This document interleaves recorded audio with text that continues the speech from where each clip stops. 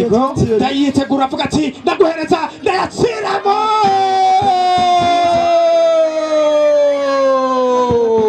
igitsinda ku rumuri urumuri fc bashyiramo igitsindo cya mbere urumuri fc bashyiramo igitsindo cya mbere cya mbere cya mbere cya mbere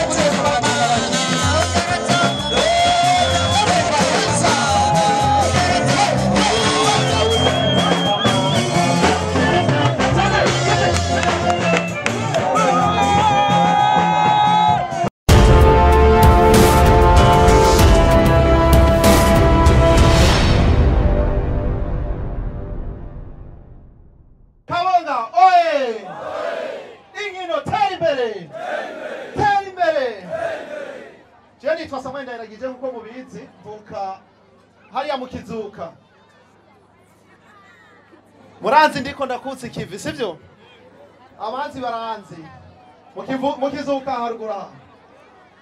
Mugabo urazi ko hose ari ku mutumba nyabigina sivyo none?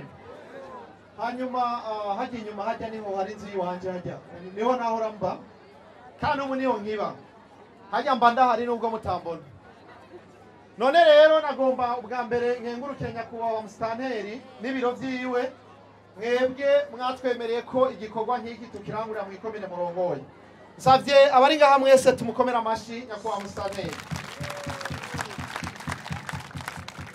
hanyuma rero nagomba nshimira umushinga nawe benoit aze ngaha kuko nawe yarafashije cyane.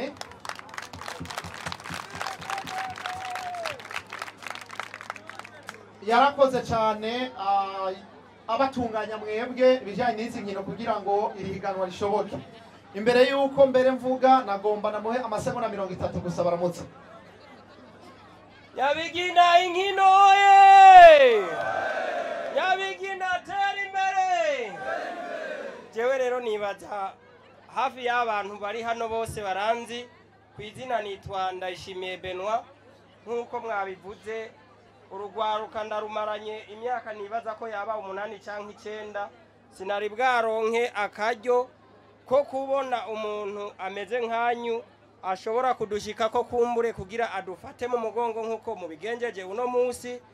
Rero ku izina ry'abanyenyabigina bose kumbure na zone kabonga ntibagiye na komine yose uko ingana turabakengurukiye nyakubahwa samweli ariko kandi twongera tubatuma kuri ba bantu bandi bari hariya kuko ubu mutumba wa nyabigina dufise abantu batari hano bari hiyo hirya benshi tukaba tutarabona abafise ivyiyumviro bingana n'ivyawe.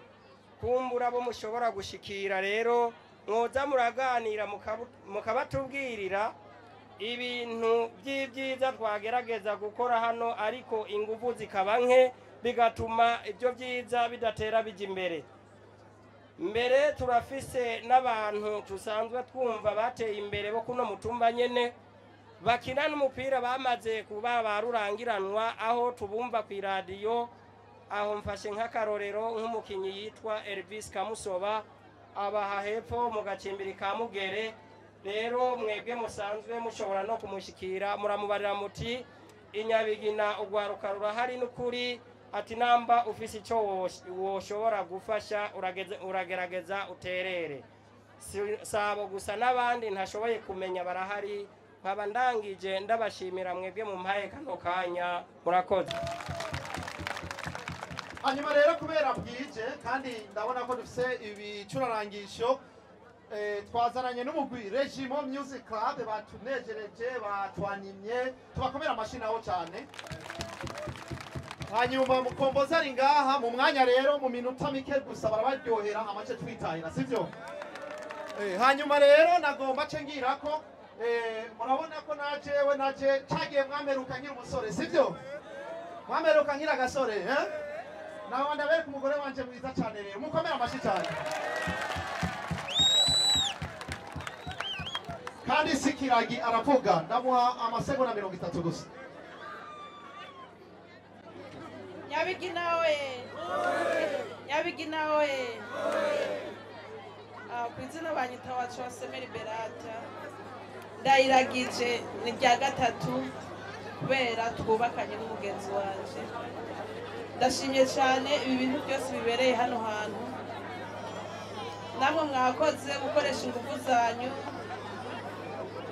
mugakora ibyo twabonye mwatunezeye cyane sawa murakoze bantu mukomere amashyi cyane rero mwumvise ko afite akajwi keza rwose sibyo hanyuma twagendanye kandi eh, n'aba bantu babiri eh, eh, ni umwigisha muri kaminuza muri leta ya arizona akaba ari n'umushakashatsi akomeye cyane. Twari twagira amahirwe yo guhorana n'icyubahiro umukuru w'igihugu cyacu cy'u Burundi cyiza cyane. Hanyuma rero ubu twari ko turazungurukana turaba ingene Burundi bwifashe. Murabona rero ko bashitse i nyabigina tubakomera amashyi. Sibyo avuga mu cyongereza kandi baza ko mwese muzi icyongereza sibyo?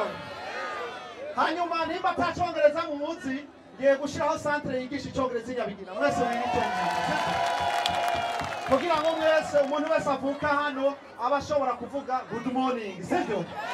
Eh, just just anything you just want to say. Amahoro! Hey. Warmest greetings from the United States of America. Uh, we're very, very happy, honored, and blessed to be here among you. Thank you so much to Samuel and Libby for inviting us here, allowing us to be here with the people. Thank you guys both for putting on a great soccer match today, or as you guys call it, football. Really enjoyed it. Uh, just an honor and a blessing to be here. Uh, Samuel and I are working. Okay. Kandi akaba yabonye ko ari izone nziza cyane kandi azo yashimye ibintu byose byagiye ngaha Samuel and I are working in agriculture to help bring new technology, training, and education to farmers here. akora mu bintu by'ubushakashatsi bijyanye n'uburimyi ati kandi akora n'ubushakashatsi. We want to provide this as a service to the people of Burundi, and we want to build the agricultural sector, which is the backbone of your economy. bashaka kugira ngo bavyure ubutunzi bwacu bazoca bagerageza gukora muri ibyo bintu nyene bijyanye n'ibyo burimyi We hope to do many things here. We hope to be back many times on behalf, behalf of me and my wife, Carmen Wilson.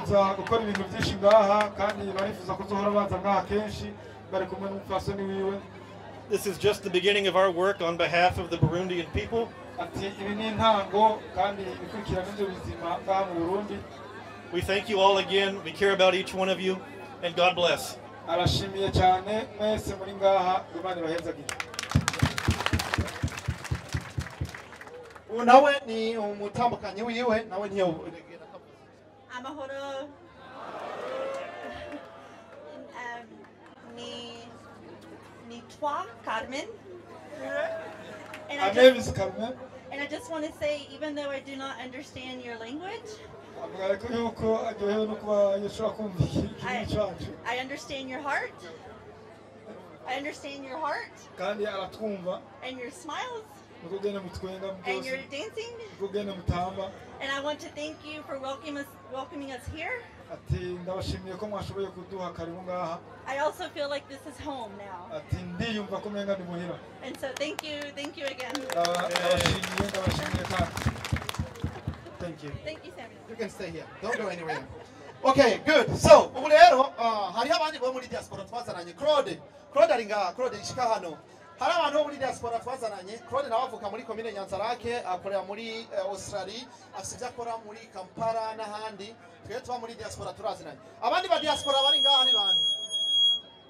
Aba diaspora bari ngaha ni bashike hano. Nta ba diaspora bari. Ubu hari naze, ntitinye. Reka Claude amasegonda mirongo itatu gusa.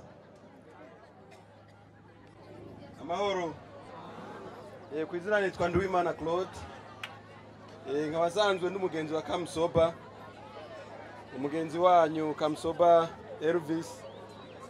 Turazinanye cyane. Ndibaza ko afise ba- batoya biwe babiri. Hariho witwa pacifique. Amagaca abaho n'uwo kamusoba rero nibaza yuko nyabigina mwaragira ibibakwe byo kuronka abakinyi benshi kandi basanzwe bakina mu matima akomakomeye nka kamusoba ndibaza ko akina mu itimu iri muri aziya yego murakoze. Mukomera amashyi cyane. None rero reka tugire ko kubera umwanya kubera imvo z'umwanya twagendanye n'abantu benshi bavuye i bujumbura n'ahandi. Kirize kirize babone. Duze ibiganza hariya. Ego cyane babonye bajya abantu twazananye muri radiyo y'igihugu ah, radiyo y'igicu mukombozi n'ayandi maradiyo nka indundi radio. Eh, murabona ko bari ku kazi. N'abandi rero regimo badufashije uko twabitunganije ni kubera iki twatunganije rino higanwa? Twagombye yuko duteza imbere iki gisata cy'inkino hano ku mutumba nyabigina. Ariko intumbero ni inkomine yose. Muga tugomba guhera ngaha. Nicyo gituma twagize inkino z'abavuka mutumba. None rero nabonye ko muri miyabaga kandi mushoboye. Icya mbere education kwiga cyane kwiga cyane gose. Ukina umupira cyane utize naho nyine ntakigenda. Ni ukwiga. Warize birafasha. Nicyo gituma ndabasabye mwese mwige. Hanyuma mwijukire amashuri n'indimi cyane cyane z'akarere. Igiswahili icyongereza n'izindi ndimi. Ibyo mutabizi nawe ukina umupira wogera mu bufaransa ukabikirayo ni byiza rero ko mwiga indimi. Mushyiremo ingufu ugomba kuba umuntu akomeye wishyira ingufu mu ndimi. Hanyuma tugomba ko dushyiraho umugwi uzohora userukira uno mutumba. Bibaye ngombwa userukire komine yose ya nyanzarake kugira ngo uwo mugwi tuwushyiremo ingufu twese dufatanije n'inzego musitanteri n'abandi tubagararire hanyuma turako twoshika imbere ndifuza yuko abantu mwese ngaha muhera ngaha mukina muri egredi ntwari sivyo none hanyuma mukava ngaha mukaduga mukaja handi sivyo ivyo ni intambwe intambwe canke dushire uwundi mugwi uzohangana n'iyo migwi yose ikomeye sivyo nawe mbona gute mukinye na egredi ntwari one day si sawa eh byogenda neza eh mwokwimva gute neza? Tuzobisaba tuzobisaba turabe ko byocamo hanyuma twagomba rero duhamagare umugwi wa mbere umugwi wa mbere wa uh, doke duhera ku mugwi wa nyuma. Imigwi ibiri ya nyuma niyo duhera ko hama turaza guhereza kuyikurikira murazi rero abakinye raporo mfise muraza kumbwira nimba nihenze ko aba umugwi wabaye uwa kane ni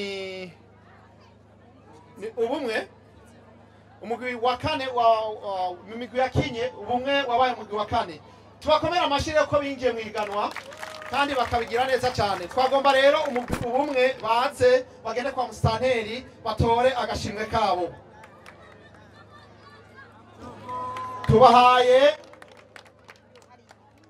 tubahaye ibahasha.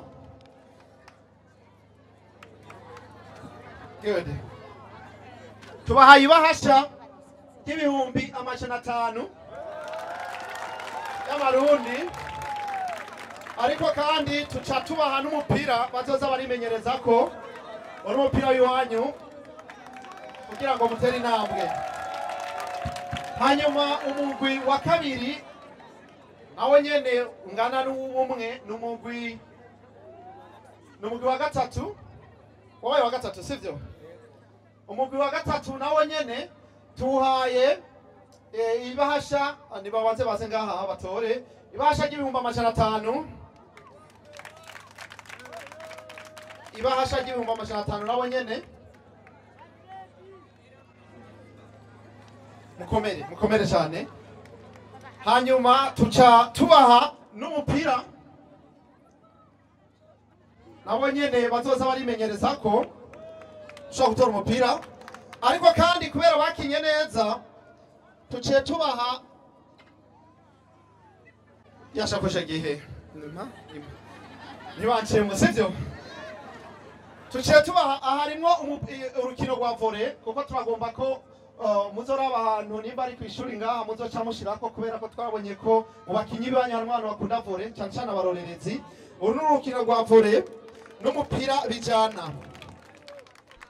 N'umupira bijana turakomera amashyi cyane rero. Mwakoze mwakoze cyane umugwi ugira kabiri umugwi ugira kabiri eh, nk'uko mwababonye nibasaruke umugwi ugira kabiri. Mwakoze cyane nabo nyene twabahaye ibahasha. Komere cyane tubahaye ibahasha ibahasha ry'umuriyoni. Ibahasha y'umuriyoni. Hanyuma tuciye tubaha kandi tuciye tubaha ni imayo bakinye twabahaye turazibagabiye n'ibirato uko nyine mwambaye turabihaye uwo mugwi. Hanyuma ivyo birato si ivy'umuntu ni ivy'umugwi ntagire umuntu azofata izo mayo ngo aca azitwara. N'irya begi vyajemwo tubihaye uwo mugwi nyene. Kurya wari umeze. Muzoze murabikoresha. Ariko kandi tubahaye n'umupira wa basket kugira ngo muzoze muriga gusimba cyane mutera imitwe rwose sivyo? Eh mukina cyane sawa. Turagiye rero ku mugwi wa nyuma. Umugwi wa nyuma nagomba manze sabe dj aba- abarejimo bakwita umuziki mwiza Ha- hanyuma ah, tubahe tubahe agashimwe bakubise umuziki. Wanagize navyo bangayikamye kurora zirariye anizotane ntikika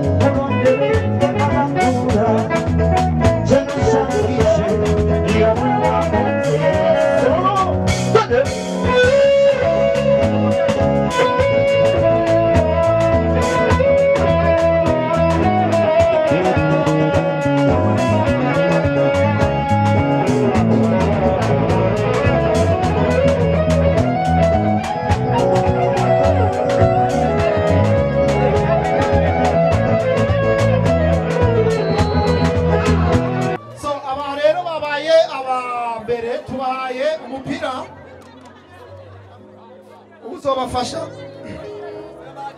hanyuma tubahaye kandi izo mayo mwambaye zose nigwanye turazibagabiye. N'ibyo birato byose mwambaye muze mubigumye. Ariko kandi kugira ngo muteze imbere umugwi muze mugume muri aba mbere mu mahiganwa agiye gukurikira kuko ni menshi cyane. Twahereye ku mutumba agiye kuba yikomine ko muze kubamo aba mbere. Hanyuma tubaye ibahasha ry'imiliyoni ah, zibiri. Mukomere rero imana ibahezagire mugire umugisha.